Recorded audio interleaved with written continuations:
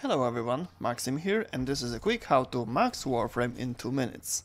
This method takes some practice, but thanks to it you will be able to level up your Warframe from level 0 to 30 in 2 minutes if you have Affinity Booster.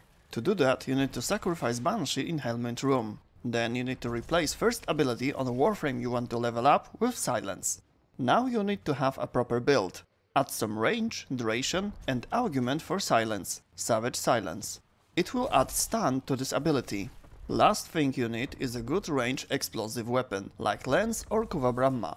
Go on Extermination on Sedna, and run as fast as you can, keeping first skill on all the time and kill all mobs.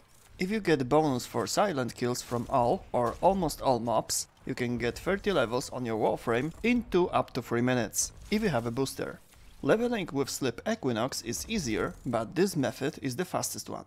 You can also use Smeeta Kavat and the Affinity Blessing to make it easier. If you want to know other techniques of leveling warframes or any other element of your gear, go check link in the description. You will find the whole video about Affinity system. And that's all for today, see you next time, bye.